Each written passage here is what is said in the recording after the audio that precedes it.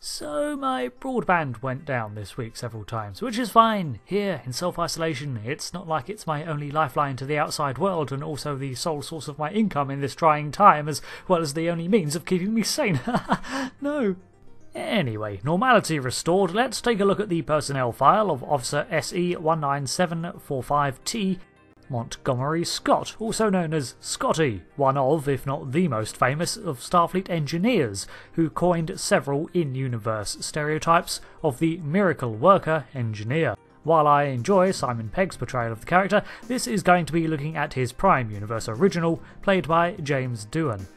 This file will contain memory beta materials represented by this emblem in the relevant sections to flesh out his career and life around the main series of Star Trek and its films. Coincidentally, Scotty was born in Scotland in 2222 to Arlene and Montgomery Scott Sr., the oldest of three siblings. The town or city has had several locations cited, but generally raised around Edinburgh. He spent time in Aberdeen and Glasgow where he enjoyed pub crawls. He also met a young Leonard McCoy as a child and the two remained distant friends. He also befriended Glynis Campbell in 2229 and he tinkered with machines from a young age but developed an interest in engineering after he realised he could not replicate his sister's artistic streak. In 2238, he disproved the Pereira theory and had his conclusions written up in several technical manuals. In 2239, he took part time work in repairing freighters, even serving on the SS Deirdre for around a year. In 2241, he joined Starfleet Academy, where he studied most engineering courses available, as well as psychology, strangely. In 2242, he served as a cadet ensign on learning postings. He also undertook the command training program at his parents' behest in the latter years of the academy, and while he passed with adequate results, it was clear his interests lay in engineering. He would have graduated from Starfleet Academy in 2244 at the rank of lieutenant junior grade. His first true assignment was to the San Francisco Fleet Yards, where he began to work on the construction of the new Constitution class of starships. During 2245, he was reassigned to the USS Gagarin for a time, then to the USS Kumari. He also served aboard a mining vessel and on the colony of Rigel 12. In 2253, he was reassigned to the USS Enterprise NCC 1701, currently under the command of Captain Christopher Pike as an assistant junior engineer. He served on this ship until 2264 and was eventually promoted to lieutenant during his tenure here. In 2364, he was awarded a promotion to lieutenant commander and guaranteed a chief engineer's positioning. He was then assigned to the USS Lovell NCC 470 among the Corps of Engineers to make repairs to the neutral zone observation post. In 2264, he received his posting, the Chief Engineer of the USS Enterprise NCC 1701.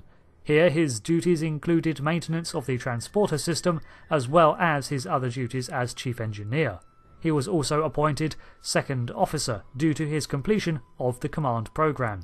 During the famous five year mission, he was killed in action by Nomad in 2267, but repaired shortly afterwards. He was also accused of murder, but acquitted, and in 2268, Kirk commends him for the 892 IV rescue operation. In 2270, he was awarded the Prantares Ribbon of Commendation. The Enterprise was taken in for its refit as part of the Constitution refit program of 2270, and Scotty was promoted to commander and oversaw the Enterprise during its time in space dock. 2272 saw him take part in the V'Ger incident. In 2273, he was involved in a time travel incident where he was sent back to 1746 Scotland and became heavily involved in the Jacobite Rising. In 2274, he was involved in battles over Livaeri 5 and later returned to Earth to marry Glynis Campbell. It was most likely that during this time he was involved in writing his numerous texts and regulations for starship engineering, as he was also involved heavily in Starfleet Academy. In 2285, during a cadet training cruise, he was acting as chief engineer on the USS Enterprise, now a training vessel, when the Genesis incident occurred and his nephew Peter Preston was killed in a battle with Khan Noonien Singh. In 2285, Scotty was promoted to captain and assigned to the USS Excelsior NX 2000 as temporary captain of engineering to oversee its prototype transwarp testing. Presumably, he would have been reassigned on its full commission. In early 2286, Glynis was killed in a shuttlecraft accident. In 2286, however, he sabotaged the USS Excelsior on the orders of Rear Admiral James Kirk, although he had little respect for the transwarp program and had always doubted its success.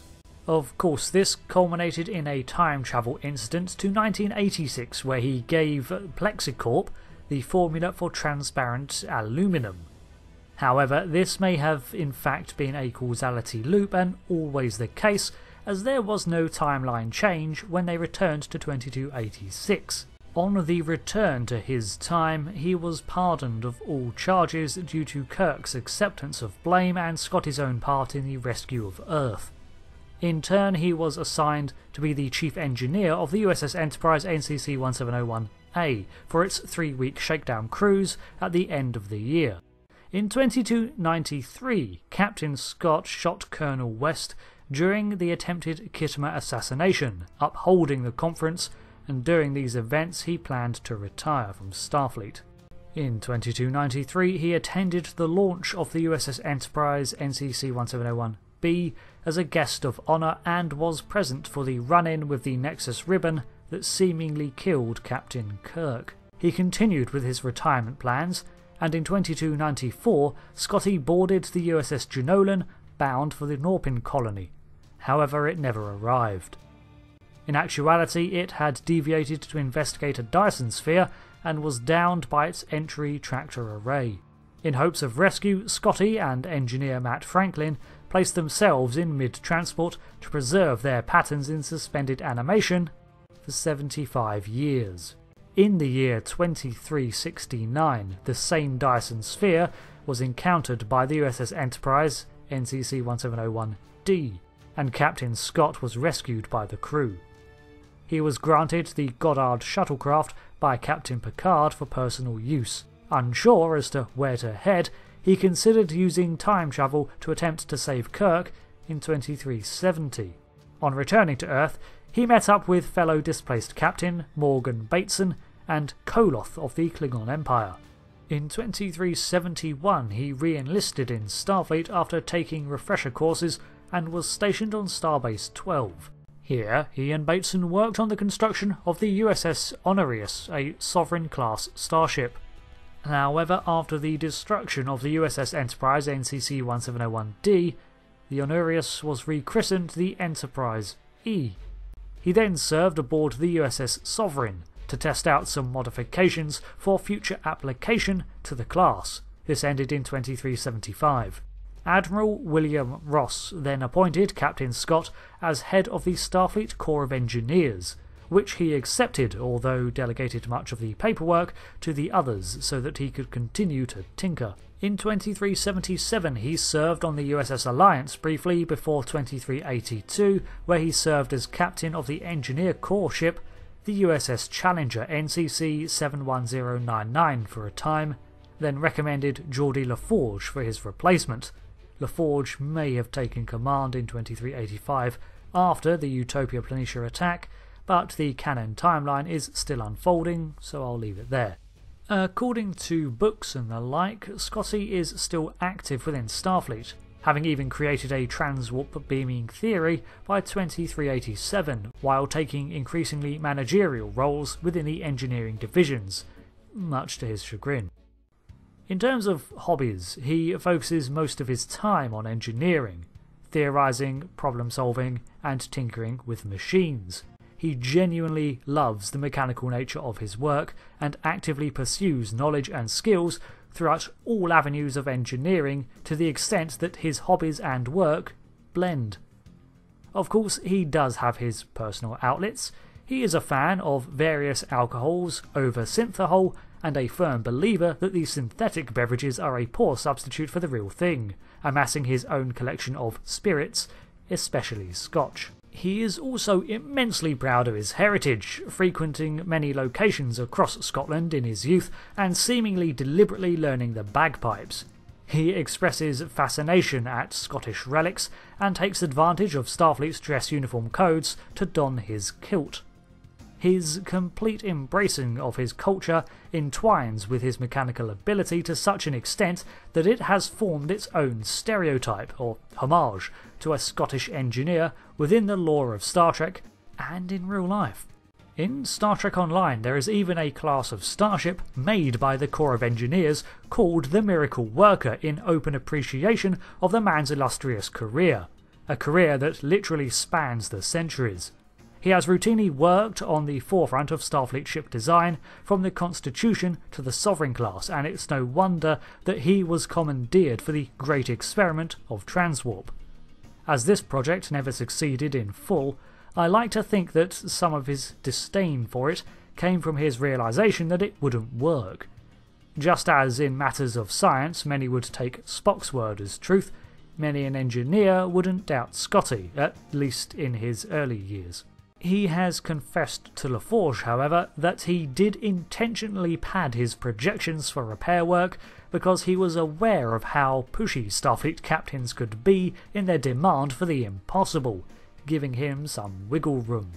This aided in his reputation as a miracle worker, but it's worth pointing out how disastrous this conduct could be if attempted by someone less experienced. In essence, he could afford to play up to his reputation because it was actually well earned and not just all talk.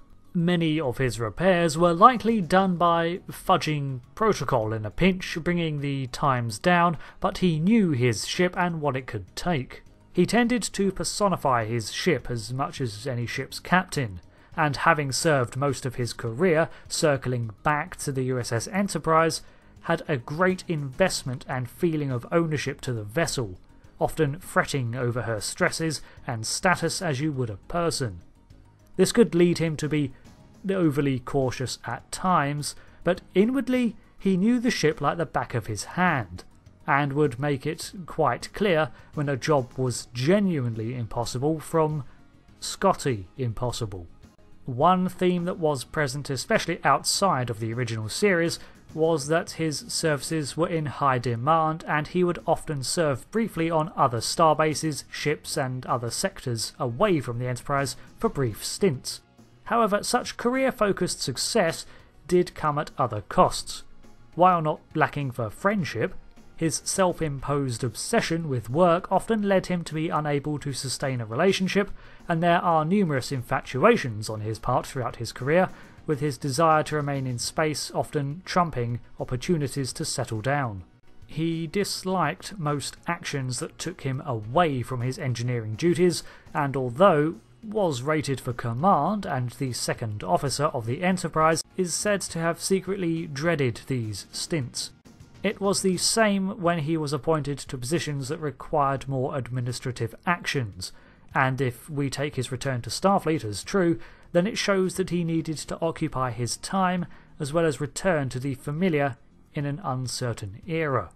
More than anything, the man needed to feel useful and occupy his time with proactive efforts. Now, some Scotty centric episodes have to include TNG's episode of Relics to see how he fares with being dislocated in time and suddenly losing that one thing that made him stand out his relevant, expansive knowledge base. As for some more era appropriate episodes, there's Always by Any Other Name, although not a Scotty based episode, it's worth seeing for that one scene. And finally, I recommend Friday's Child for a good portrayal of Scotty in command. Thank you for looking at this personnel file on one of the most recognised Starfleet officers to serve, and tell me, what do you think of the extra canonical content included? Does it line up with what you'd expect from him, especially with his return to Starfleet at the age of 72? Or 147, depending on how you want to measure it. Thanks again for watching. I've been Rick, and I'll see you again next time. Goodbye.